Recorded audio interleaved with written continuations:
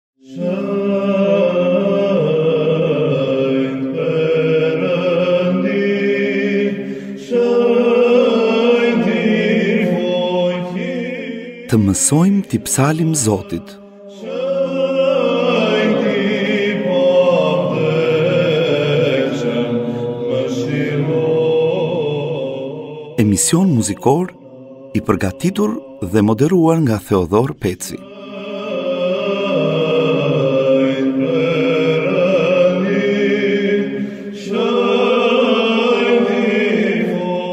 Përshëndetje të dashur dëgjues, muzikëdashës të radios Ngjallja, dhe të gjithë ju admirues të muzikës tonë bizantine.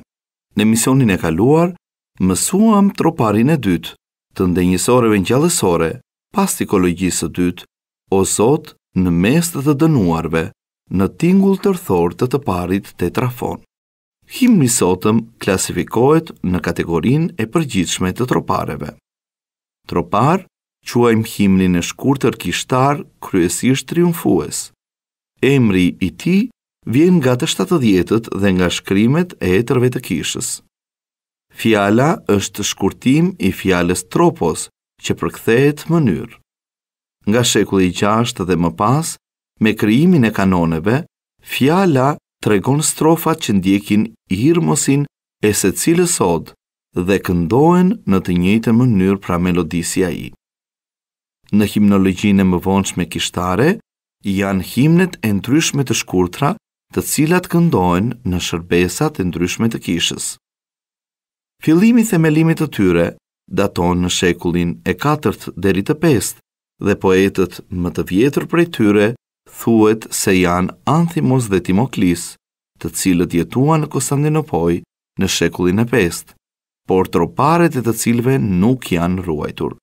Ndër më të mirët e këtij lloji himnografik janë Kirili i Aleksandrisë, Anatoli dhe të tjerë. Troparet përgjithësisht janë tekste poetike pa rimë, prandaj ngjajnë me tekste në prozë, zakonisht nuk ndjekin një ligjërim ritmiko-tonal, por ka dhe përjashtime interesante dhe dallohen në shumë gjini në varësi të përmbajtjes, kohës në të cilën psalen shërbesat, të melodisë së tyre ose i vargut psalmik që i paraprin. Për ata të cilët nuk patën mundësi të ndiqnin emisionin e kaluar,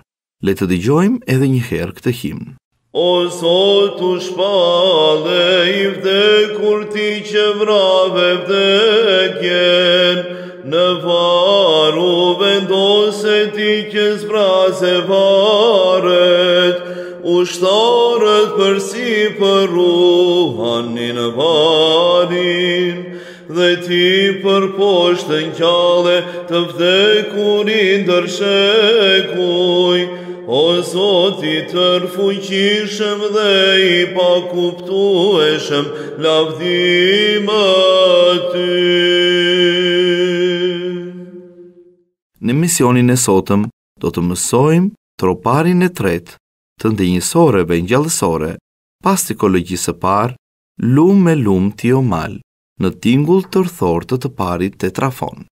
Himni i sotëm është një tropar i llojit himnografik të ndenjësoreve. Fillimisht ndenjësore quhej ndarja e psaltirit, pra e psalmeve të Davidit, në 20 pjesë, ku çdo njëra nga këto pjesë quhej ndenjësore. Pra, psaltiri përbëhet nga 20 ndenjësore.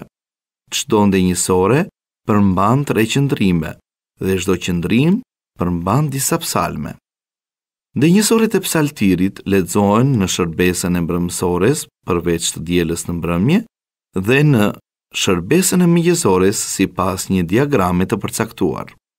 Ndërmjet ndenjësoreve të psaltirit, në mënyrë që të thyhet disi monotonia e leximit të vazhdueshëm, psalen tropare të veçanta të cilat quhen troparet ndenjësore.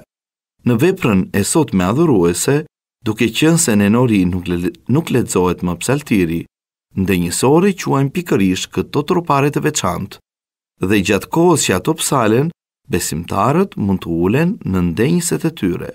Nga ky veprim pra kanë marrë dhe emrin. Por tematika e këtij tropari ndenjësore është ngjallësore, do me thënë paskale.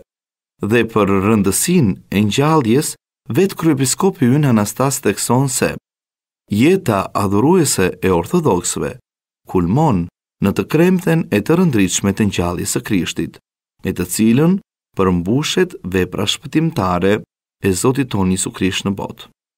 Pa ngjalljen, predikimi i Ungjillit përfundon në një kod të dobët rregullash morale, Apostull Pavli e thekson në mënyrë të guximshme këtë të vërtetë. Edhe nëse nuk u ngjall Krishti, pa fjalë predikimi ynë është i kotë, edhe besimi juaj i kotë. Dinamika e mesazhit të krishterë përqendrohet në shprehjen e famshme Krishti u ngjall. Ngjallja e Krishtit shpall me fuqi tejkalimin e vdekjes. Sa pagëzohen me besim në vdekjen dhe në ngjalljen e Krishtit, ecin bashkë me të në përjetësi. Kryqi dhe ngjallja përbëjnë dy boshtet e ciklit himnologjik kishtar. Kisha ortodokse nuk synon ta imponojë këtë të vërtetë me argumentim shterpë, por e bën të kremte, e gëzon, e jeton. Ajo i fton shpirtrat e besimtarëve brenda valëve të lavdërimit që të ripërtërihen, të çelen, të rrisin fuqitë e tyre të brendshme të intensifikojnë më tej përpjekjen shpirtërore. Kisha ortodokse nuk e himnizon ngjalljen e Krishtit vetëm gjatë periudhës së Pashkës, por çdo të diel e risjell me ngazëllim në mendimin dhe në ndërgjegjen e besimtarëve. Rrezatimi i saj përshkon tërë ethosin ortodoks.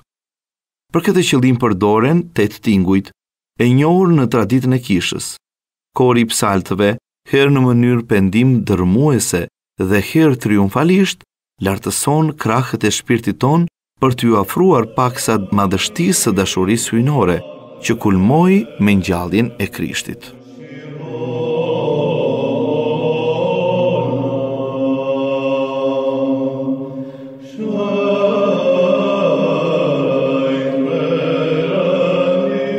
Përpara se të psalim pjesën që kemi përzgjedhur për sot, le të lexojmë tekstin e këtij himni. Lum e lum ti o mal, ku bariti Zot i madh. Lum e lum ti o ferrë që nuk u dogje dot. Lum e lum o urë që na shpie në shpëtim. Në parajsë e në dëfrim, dhe në jetën pa mbarim. O Nënë e Shenjtë Gëzohu, që virgjërisht na ke lindur Shpëtimtarin tonë Jisu Krisht. Le ta dëgjojmë edhe një herë tekstin e troparit që kemi përzgjedhur për sot nga fillimi deri në fund. Lum e lum ti o mal, ku bariti Zot i madh. Lum e lum ti o ferrë që nuk u dogje dot. Lum e lum o urë që na shpie në shpëtim. Në parajsë e në dëfrim dhe në jetën pa mbarim. O Nënë e Shenjtë Gëzohu, që virgjërisht na ke lindur Shpëtimtarin tonë Jisu Krisht. Përpara se të mësojmë pjesën e sotme muzikore, do të duhet të kemi parasysh faktin se të këndosh nuk do të thotë thjesht të formosh disa tinguj, por këndimi është një gjuhë muzikore që ka gramatikën, Shenjat dhe rregullat e saj. Meqenëse mësimi ynë është i formës praktike dhe thjesht mësojmë t'i psalim Zotit përmes dëgjimit, do të duhet jemi të kujdesshëm dhe të respektojmë disa prej kërkesave kryesore gjatë këndimit. Së pari, të qëndrojmë më drejt, të lirshëm e me trup pa kontraktime. Së dyti, të shqiptojmë saktë dhe pastër tekstin poetik, pra duke pasur një diksion të qartë dhe të pastër të fjalëve. Së treti, të ekzekutojmë saktë vijën melodike, e cila përbëhet nga tinguj të ulët, të lartë, të gjatë apo të shkurtër, brenda një tempi të shpejtë, të ngadaltë ose shumë të ngadaltë, duke i dhënë pjesës karakterin përkatës.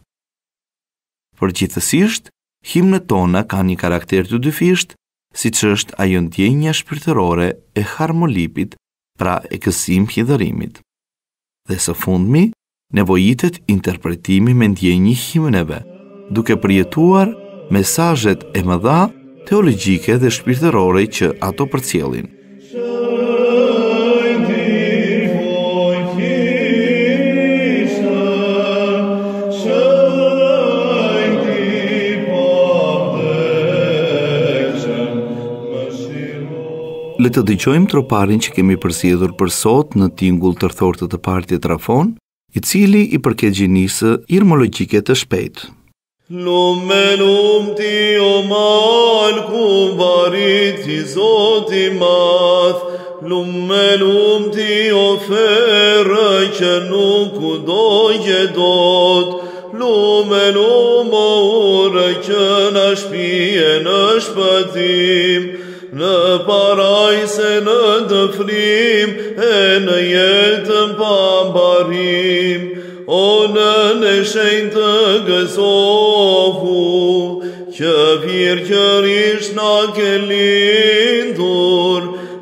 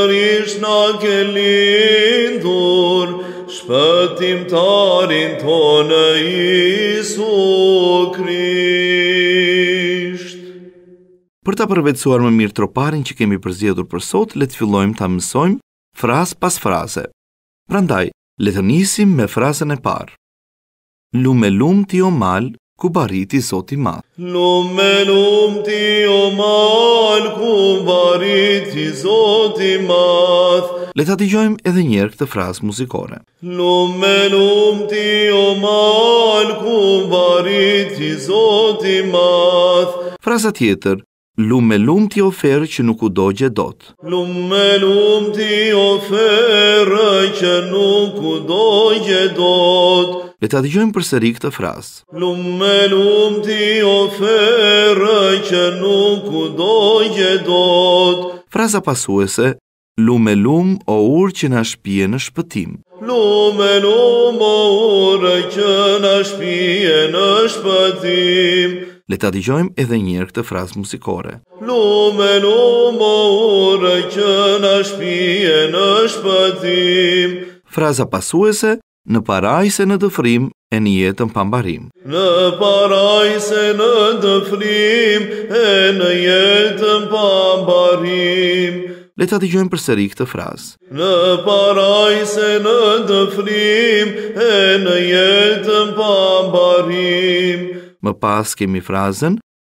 O nënë e shenjtë gëzohu. O nënë e shenjtë gëzohu. Le ta dëgjojmë përsëri këtë frazë. O nënë e shenjtë gëzohu.